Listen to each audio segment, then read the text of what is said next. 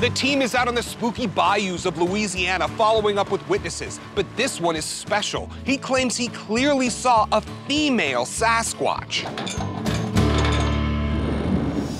She just kind of throwed her head up, she turned, and when she looked at me, she went, whoa. And when she did, I just stepped out to let her know that I wasn't scared of her. I ain't coming to you, but you don't come to me either. Yeah. and then she walked all the way across the field. She turned back around, and when she did, she hollered. Can you imitate it, or would you imitate it? Yeah, she went. You could tell it was a female on count. The shoulders and the hips about the same. It had a lot of muscles in the neck and stuff.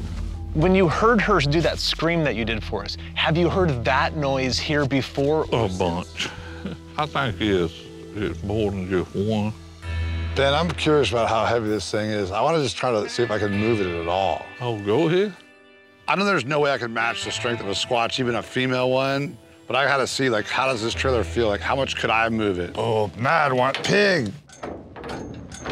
So I can get some good shaking. I could, I could get a little side-to-side rock just a teeny bit, but there's no way I could even budge it the slightest bit off the ground. There's no shame in being out-muscled by a female Squatch. She was way bigger than me. I got beat up by a Samoan chick in high school, so I'm used to it. With Bobo standing right there, you know, the top of his head, how big was the figure you saw that night? See that ridge just across the top of her? Hit it by here in the mouth. So the top of the head would be up here, Ben? The top Yeah, of the head? By, about where your hand is, it'd be the top of its head. That's a good seven and a half foot. Yep. How about for the size of the back? She's about an inch wider. On each side. Yeah, probably like that. Okay. Man, you really had a good look at this thing. Look at Bobo when he turns and looks at you. Creepy, Yeah, I eh? mean, you, well, yeah, he's a little bit more scared. What do you think, Bobes? I think Bobo's strong. that was awesome, man. I'm super jealous of that setting. That's great. no matter what you see, you really see something, you don't know or you don't believe. Ben is right. Seeing is believing. And since I've never seen a Sasquatch, I honestly don't believe. Despite that, Ben is a credible witness. His account was very detailed, and I would never accuse him of lying. But the fact still remains that anecdotal and so called expert testimony is the weakest form of evidence. What I need is irrevocable scientific evidence. I'm not only envious of the sighting, I'm envious of the property.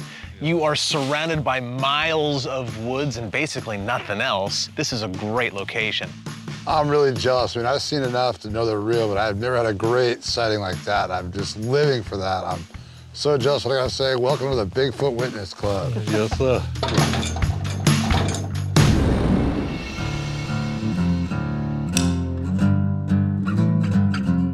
I gotta go on a solo camping trip here to get deep into this swamp along Caddo Lake.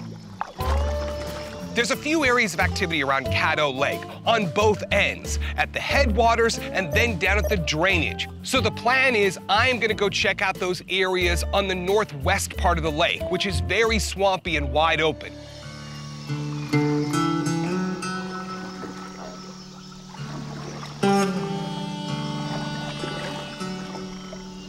When I first got out here, I was wondering how deep this water gets. And I've been happy to see that it doesn't get more than about that deep. That's shallow enough for a Bigfoot to walk right through it if it knows the pathways.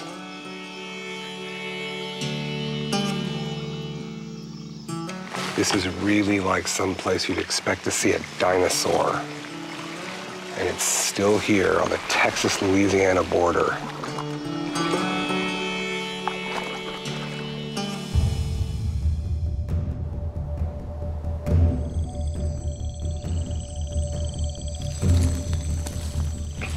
Am on one island amongst many, many in what they call Caddo Lake, which really should be called Caddo Swamp.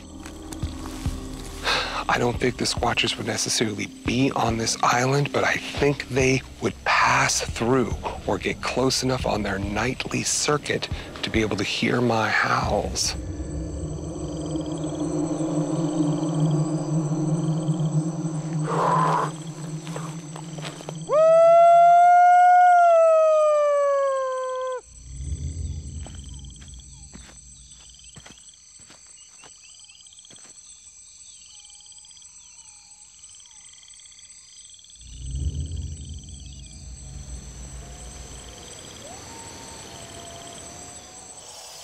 Oh.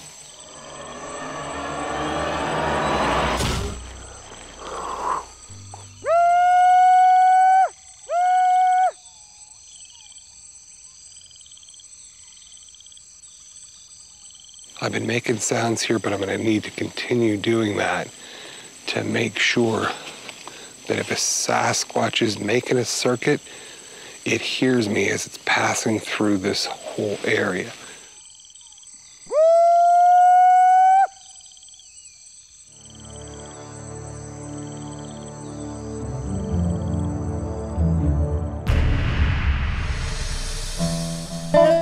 So I didn't get any action during my solo camping trip, but now I really want to hear from Cliff, Bobo, and Ranae about that south area because I think it may be a primo spot where Bigfoots could be found right now. Well, am I glad to see you guys. It was a couple of cold, wet nights out there. Oh, yeah, the weather's finally broke. So what did you guys come up with? All three of us went and talked to Ben. He definitely saw one. He got a good look at it. His property is amazing, too. And while we're at Ben's property, I met his nephew, Danny. He has a boat, but he offered to take us out in his boat overnight and do some scanning with thermals. Fantastic. So you mean we can go down here on boat and if we can have a team on the land and one on the water? Right, making calls back and forth to one another. All right. Well, let's get to him then. Let's do it. Do it. Bobo has hooked us up with Danny DuPont. He's the nephew of Ben DuPont, our witness. This is a nice little boat we got, man. Oh, yeah. It's got a roof, the whole nine. He has a pontoon boat that we're gonna deck out like a FLIR command center. We're gonna have a number of thermal imagers looking at the shoreline as we slowly drift down this bayou in the dead of night. We're gonna do that and hopefully we can elicit some attention by a Sasquatch if one's nearby. Perhaps it'll come out and do a scream. Perhaps it'll just hide there behind a tree. But no matter what, if it comes near the water's edge, we're gonna see it with the thermal imagers. So, Danny, you mentioned that you've had reports from the family going back 85 years. 1929. What was that? Uh, my grandfather seen him in a pear orchard. Really? Yes, sir. What was it doing? Reaching in a tree and eating the pears. Really? Yes, sir. He was about 10 years old. Said he snuck up within about 50 yards from him and it took all running. That was the first sighting. It was normal. That was, a, they, they seen it regular. They called them wild men back then, and they wasn't Bigfoot back then. Awesome. So that wasn't unusual. No, no, no. That's That happens all the time on the bayou. We have the boat all hooked up with therms and monitors and it's ready to go. And as we wait for night to fall, the four of us are going to travel deep into 12 Mile Bayou. Once we get to our spot, Bobo and Cliff will monitor the therms on the boat, while Ranae and I will go on shore off in the woods. We'll be making knocks and howls to get the attention of any Bigfoots that may be making their way through this area.